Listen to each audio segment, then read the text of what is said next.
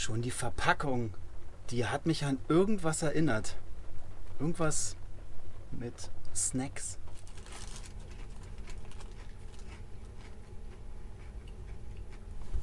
Mhm.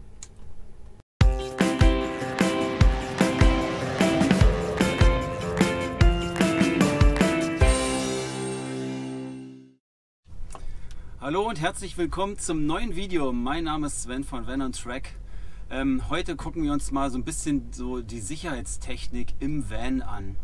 Ähm, ihr kennt ja alle so diese Standard-Sicherheitselemente, dass es äh, zum Beispiel eine, Lenkradsperre oder so, ein, ja, so, ein, so eine Pedalsperre gibt.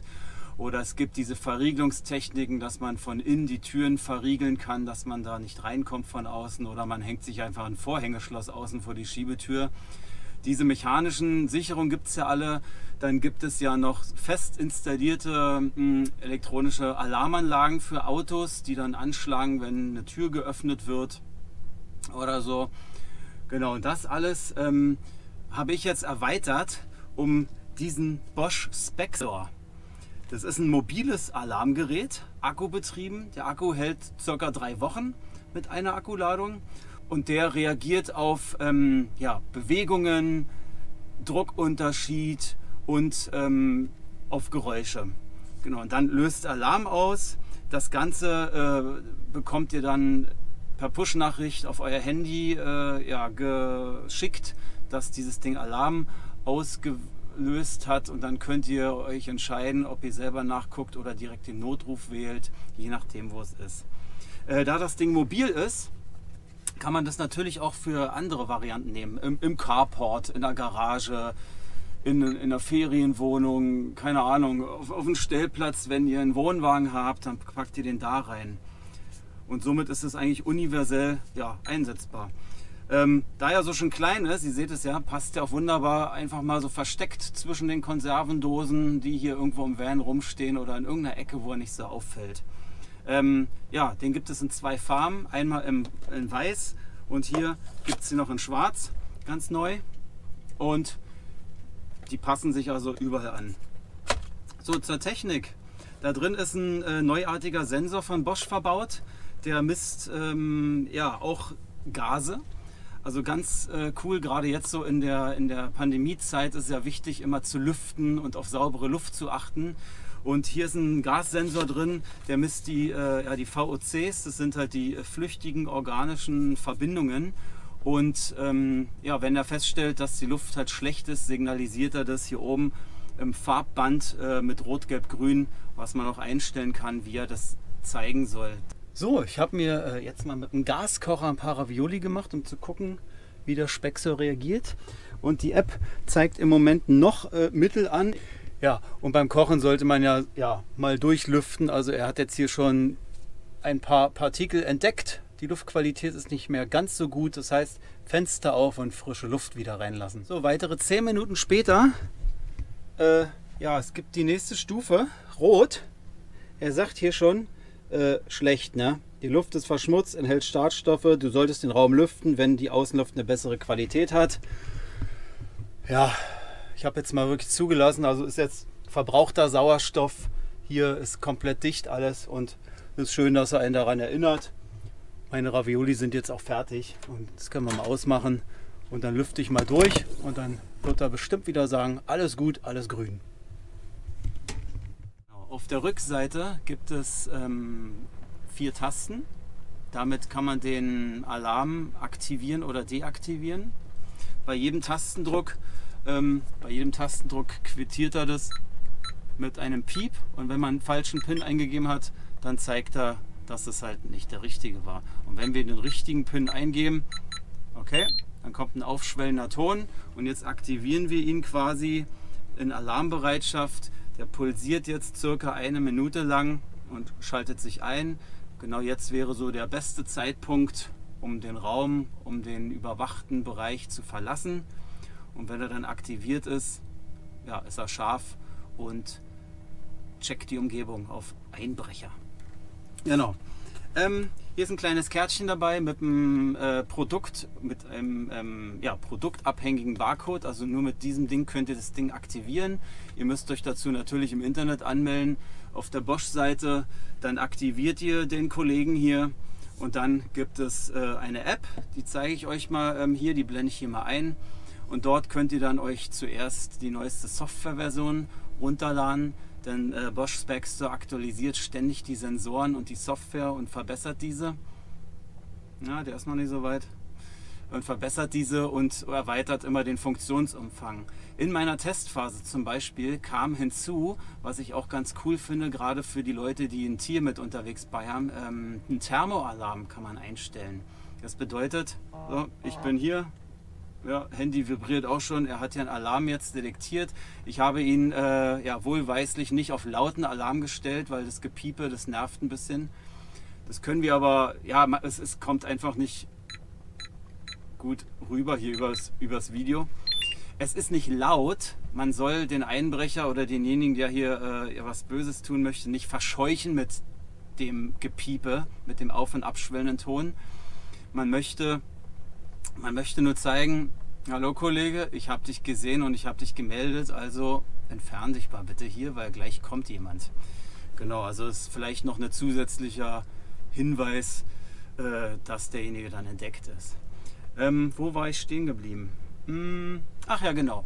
Äh, während der Testphase ähm, wurde äh, dieses Ding hier noch erweitert und zwar der, die Temperaturüberwachung. Man kann die Temperatur und die Feuchtigkeit aus der Ferne direkt in der App messen. Das sieht man hier.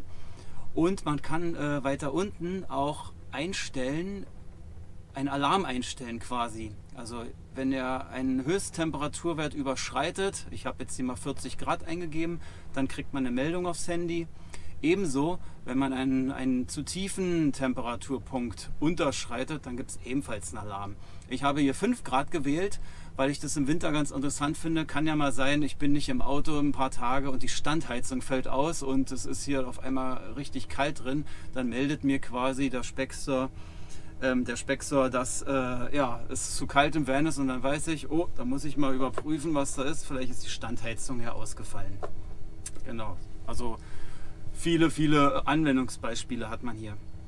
So, ähm, die Luftqualität, da sind wir stehen geblieben, misst er ja und zeigt es in unterschiedlichen ja, Farben an. Hier in der App sieht man jetzt, ähm, dass es gestaffelt ist in sehr gut, gut, mittelmäßig, schlecht und sehr schlecht. Da gibt es auch dann immer zu Erklärungen und das kann man dann einstellen, ja, wie er das zeigen soll. Und alle 10 Minuten kommt dann diese Meldung und er zeigt es halt entweder leuchtend oder blinkend oder Dauer an, wie die Luftqualität ist. Und äh, das ist ganz interessant. Manchmal war das auch so, da hat er auf einmal schlechte Luftqualität gemeldet und ich wusste gar nicht warum. So, und der Specksor weiß schon vorher Bescheid, dass die Luft schlecht ist, ehe man das merkt. Hier ist gerade ein LKW vorbeigefahren, der eine Dieselfahne hinter sich hergezogen hat. Hat hier ein bisschen nach Dieselabgas gerochen und hat er ja gleich detektiert und sich gemeldet. Finde ich gut. Also jetzt Fenster auf Lüften. Feinste Partikel, Feinstäube, ja, keine Ahnung, welche Gase drin oder so. Ähm, und dann hat er das gemeldet, dass die Luftqualität schlechter geworden ist. Äh, ja, und dann sollte man halt dazu sehen, dass die Luft besser wird, weil das sonst in längeren Fällen gesundheitsschädlich ist. Ähm, ihr habt den hier vielleicht gerade so ein bisschen blinken sehen, dieses weiße Licht, also das erscheint mir so ein bisschen fliederhaft. Das ist immer so ein bisschen so eine, ja, so eine Rückmeldung, wenn man den bewegt hat oder so, dass man hier dran ist.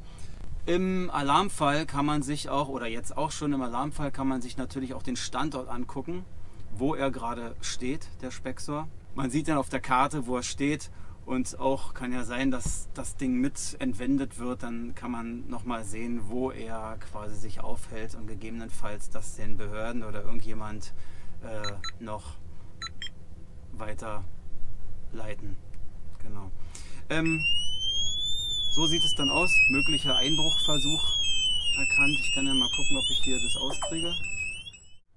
Ja, äh, draußen regnet es. Äh, es ist ein bisschen äh, frisch. Ich habe mal alle Fenster und Türen zugemacht, damit sie auch nicht so laut ist. Vielleicht hört ihr ab und zu mal das Regentropfen. Ich, äh, ich filme jetzt hier ungefähr schon ja, halbe Stunde, 40 Minuten Und äh, hier könnt ihr jetzt schon sehen, dass die äh, Luftqualität hier schon so ein bisschen abgenommen hat. Also er hat jetzt schon äh, gezeigt, dass sie ja relativ schlecht ist. Ich sitze doch direkt daneben, atme hier alles aus. Sauerstoff ist schon ein bisschen verbraucht. Da sagt er schon so ein bisschen Bescheid. Lüfte mal wieder, bring mal ein bisschen Luft wieder rein. Das Gerät hat Bluetooth.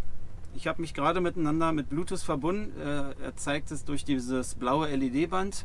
Äh, wenn man mit dem Handy nicht in der Nähe ist, dann schaltet er auf WLAN um und wenn das WLAN nicht verfügbar ist, er hat eine eSIM-Karte verbaut, die europaweit für ein Jahr lang gilt, ist im Kaufpreis mit inbegriffen, danach für schmale 12 Euro im Jahr, also 1 Euro im Monat, dass ihr die mobile Datenlösung hiermit nutzen könnt, wenn ihr nicht immer ein WLAN zur Verfügung habt. Somit ist wirklich sichergestellt, dass ihr immer Kontakt zu eurem Specksor kriegt und er auch immer den Alarmversuch meldet und ihr halt die Temperatur und so ein ganzes, äh, die ganzen Daten abfragen könnt. Zukünftig ähm, habe ich gehört, dass es wohl auch ein CO-Melder geben wird, ist aber noch nicht ganz raus, also vorsichtig mit der Information. Ich sagte ja schon anfangs, die, äh, das Team von äh, Bosch Spexor erweitert hier ständig die, äh, den Funktionsumfang, was ich persönlich gut finde. Jo, ähm, was steht hier drauf? Oder was ist hier drin? Also der Spexor selber, schwarz oder weiß. Dann gibt es eine äh, Original-Bedienungsanleitung auf Deutsch. Sehr ausführlich, also sehr detailliert und auch, ich habe hier bisher alles drin gefunden, was, welche Fragen so in mich aufkommen. Da dachte ich, wie ist denn das eigentlich? Dann habe ich mal später nachgeblättert und es steht alles drin. Ähm, ja, ein Ladegerät zum Aufladen. Hier unten natürlich USB-Kabel, schön lang,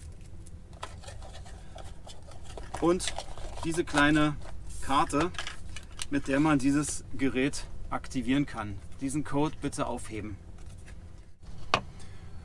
Unten in der Videobeschreibung gibt es einen Rabattcode für euch, wenn ihr euch so ein Ding auch zulegen wollt. Guckt mal rein, da ist auch äh, ja, alles weitere verlinkt und beschrieben. Wie gesagt, einen Rabattcode gibt es da. Ja, den könnt ihr dann einlösen, wenn ihr euch so ein Ding zulegt. Gut, das soll es auch schon gewesen sein. Ich stelle den jetzt wieder an seine Stelle.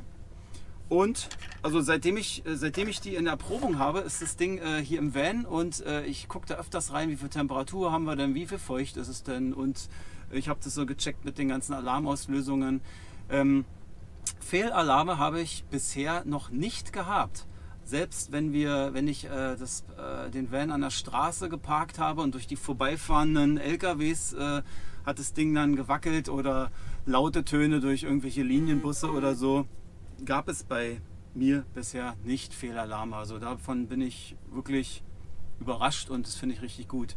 Was man noch sagen muss, da er sehr auf ähm, ja, akkuschonende Funktionsweise programmiert ist, ist die Alarmauslösung, erscheint die manchmal verzögert, beziehungsweise hatte ich ab und zu mal den Verdacht, dass er dass er das jetzt nicht gerafft hat. Ich habe den quasi aktiviert, vorher mit der Hand rumgefummelt und dann ist irgendwie nichts passiert. Es liegt aber einfach nur daran, er macht ja nicht rund, er guckt nicht rund um die Uhr, beziehungsweise er, er sendet nicht rund um die Uhr ins Internet den Alarmzustand aufgrund des akkuschonenden Betriebes. Aber er hat es jedes Mal registriert und ausgelöst und die Meldungen, die kommen auch an. Also sicher ist er auf jeden Fall. Das finde ich gut. Ja, vielen Dank nochmal an Bosch Spexer, dass ihr, äh, dass ihr mir die beiden hier überlassen habt zum Ausprobieren und für den Film und fürs Review. Ich finde die ganz geil und die sind mobil. Also die kann man auch in den nächsten Van nehmen, ins Ferienhaus, in Urlaub, irgendwo hin. In die Dachbox. Geht natürlich auch, wenn jemand aufmacht, oh, kommt gleich der Alarm. Genau. Ja, erzählt doch mal, wie ihr euren Van absichert. Äh, Schreibt es mal in die Kommentare und erzählt doch mal, was ihr von diesem Ding hier haltet. War, es war ja Ostern, die Form erinnert ja so ein bisschen an ein Osterei. Ja, supi. Alles klar, wenn es euch gefallen hat, lasst einen Daumen da und abonniert uns. Bis bald. Tschüssi.